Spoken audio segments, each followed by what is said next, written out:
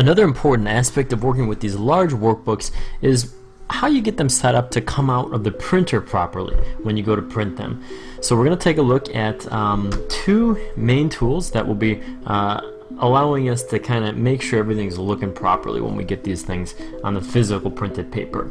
Um, so let's first start off by taking a print preview of what this large worksheet's uh, going to look like when I go to print. I'm going to do a control P and uh, that brings me to my print preview. Here's my first page. You'll notice that it kind of gets cut off. Not really looking too good. If I go to my second page, again, it cuts off the north region. Uh, we've got the south on there though, which is alright. Uh, the third page has all the east region, um, some of the central cut off, and then that last page just looks plain lousy. So I'm going to go back to home here. Let's see what we can do to make this look a lot better.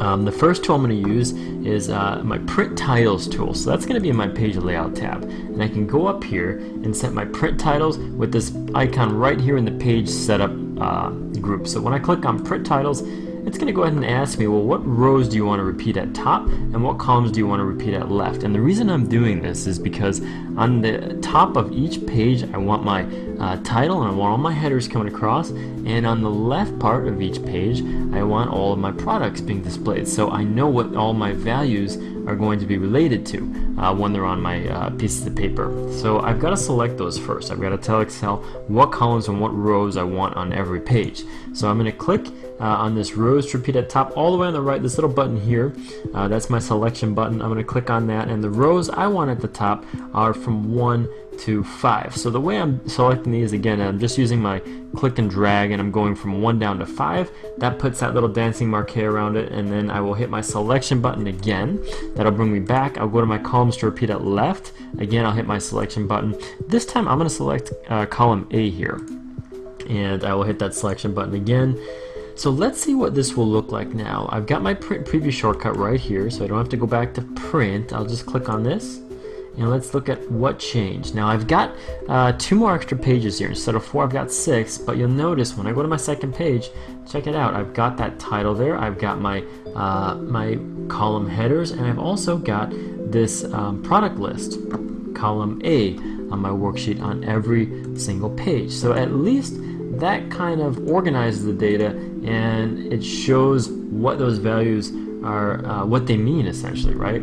But it's added on a couple pages here. So let's see how we can control uh, how all those extra pages come out. So I'm going to go back to, uh, actually let's go to my view tab here and I'm going to take a look at my page break preview view and this will allow me to look at where the data is being cut off when I send it to the printer. And these are things that we can actually change. So I'll notice that uh, just like we saw in the print preview, it's cutting off my north region here. It's also cutting off my south, east, and pretty much every region after that. So I will go ahead and fix this manually by just clicking on these blue lines. And again, these indicate where the data is being split and I'm going to drag these to where I want them to actually split. So I'll go down here and first thing I want to uh, change is uh, I don't need this extra white space underneath my totals so I'm going to go down and click and drag that bottom blue line up to right underneath totals so I'm not getting any extra space underneath that.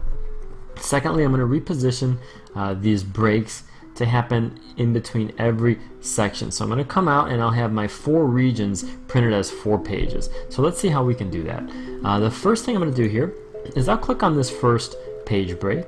And actually I'm going to drag this click and hold and drag it in between the total and quarter one so I get that north region uh, fully occupying page one. I will do the south region. I'm going to drag the second break and bring it in between uh, south and east. I'll do the same with my central and I've got an extra page break here that came up. I will put that between central and west. So now when I go and do my print preview I should have a nice looking uh, four five page spreadsheet with one region on one individual page. As long uh, as well with my um, column headers and my products on every page too. So let's go check it out. I go back to file. I'll do my print. Let's see what it looks like. Not too bad. There's my title. I've got the whole north region on one page uh, my second page shows the same except it's south. There's my east, central, and there's my west. So it looks a whole lot better. We have one extra page, but at least you know what all those values mean. And it looks really nice, nicely organized and professional. So when we go and print this, it's going to look a whole lot better.